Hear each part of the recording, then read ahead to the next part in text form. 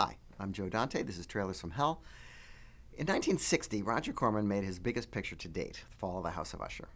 And that same year, he made his smallest picture to date, which is still his smallest picture to date, The Little Shop of Horrors.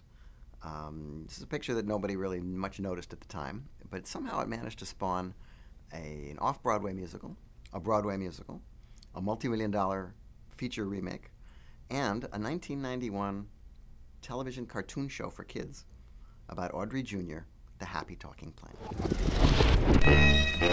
Feed me food.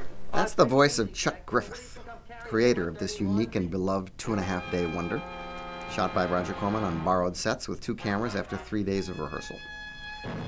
Griffith also plays two supporting roles and shot the night exteriors. When Bucket of Blood, their previous stab at black comedy, turned out well, Corman decided to continue this trend through his own non union indie film group. The resultant film, like all film group pictures, played southern drive ins and grindhouse triple bills without creating much of a stir.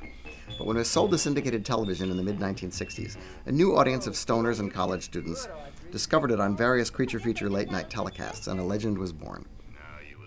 Jack Nicholson's small but memorably whacked out role as a masochistic dental patient brought this unexpected immortality. Jonathan Haze took the schnook lead that Dick Miller turned down, and Mel Welles has his greatest role as the malaprop spouting Gravis Mushnick. What's the matter? Don't you like me? Too bony. Too bony? Nobody ever told me that before. Beef is better than veal. Ah, you're such a dodo. What do you call this?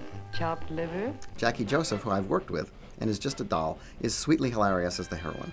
But the goofy script, loaded with ethnic humor, is the engine here. Who would have ever thought that we'd be talking about Little Shop of Horrors, a talking plant movie made in two and a half days, in 2010?